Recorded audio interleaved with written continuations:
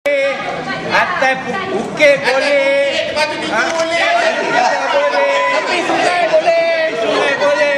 Jadi masalah masalah sedaya kalau sebabnya masalah yang pertama ialah kita nak memindah